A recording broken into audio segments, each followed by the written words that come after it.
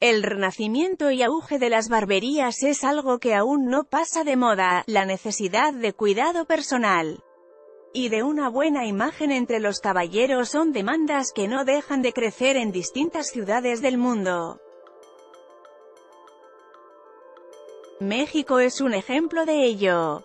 Sin embargo, la demanda de los servicios de barbería está aumentando hacia una modalidad más móvil. Esta industria en México tiene un valor de más de 326 millones de dólares pero aún no repuntan los negocios móviles de este tipo de servicios. Las barberías móviles están ocupando el lugar de las hermosas barberías clásicas o neoclásicas que se instalaron en los últimos cinco años en capitales del mundo como Beirut, el Líbano, o Londres.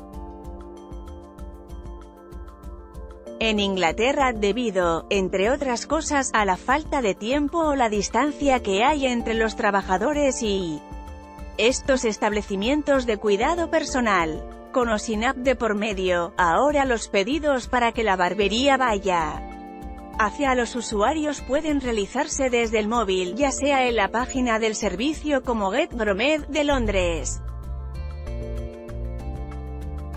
O a través de Papio Barbers, la app para barberos en Costa Rica.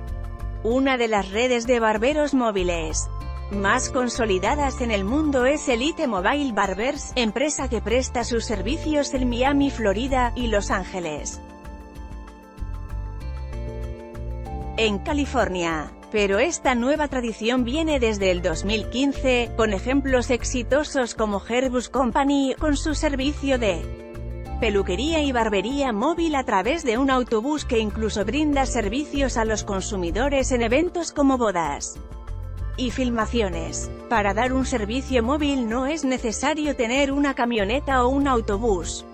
En Beirut, la capital del Líbano, el street barber Mohamed Khaled Jaja recorre toda la ciudad con su bicicleta y su equipo de herramientas clásicas para acudir al llamado de sus clientes o para detenerse ante la solicitud de un ciudadano, sin más establecimiento que la banqueta. Negocio al alza las barberías son más que una moda pasajera entre los caballeros, pues datos de la consultora de consumo Euromonitor International reflejan que este mercado está lejos de poner sus barbas a remojar.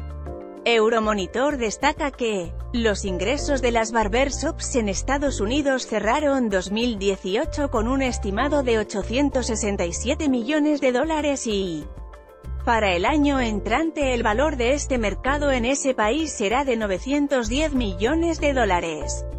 En México,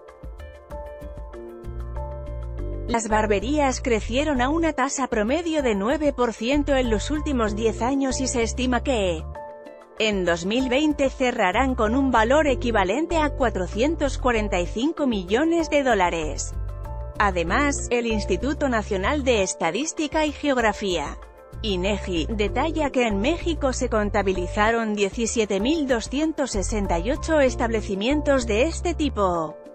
Por si fuera poco, en el país se celebra anualmente la Expo Barber Show, un evento a nivel América Latina, que se realiza desde 2014 y que este año tendrá lugar en el Centro Citibanamex del 27 al 29 de octubre.